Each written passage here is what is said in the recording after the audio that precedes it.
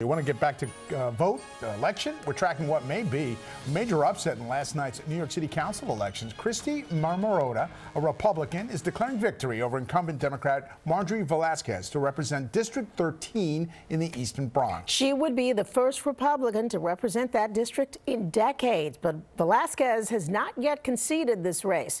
Eyewitness News reporter Anthony Carlo is live in Throgs Neck with the latest. Anthony?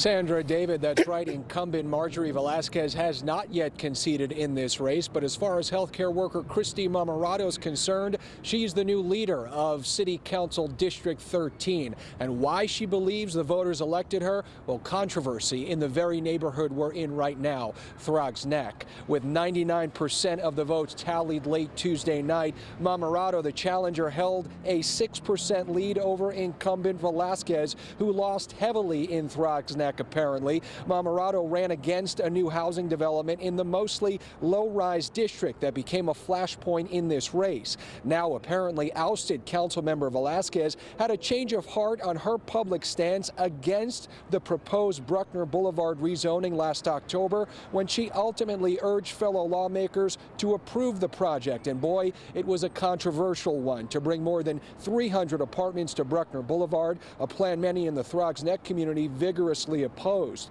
Marmorato's victory giving Republicans another seat in the council may not grow the party's overall numbers by much, but she says it gives her constituents a voice, one that she felt she didn't have on two big issues. One, a proposal to house former inmates with medical needs steps away from her home, and two, the Bruckner upzoning that voters feel strongly about to this day.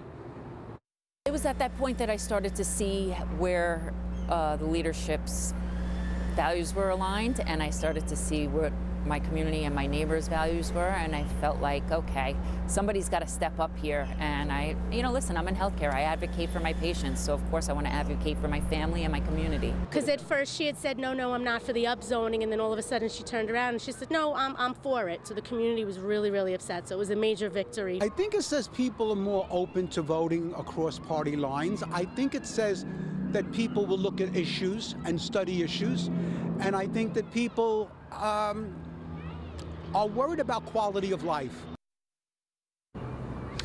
And one of those issues Kristy Marmorato says will be on her agenda here in Council District 13 is public safety. Her constituents, she says, are not feeling very safe nowadays. As we mentioned, uh, Marjorie Velazquez has not yet conceded, but we did put out a request to her campaign for a comment on this upset.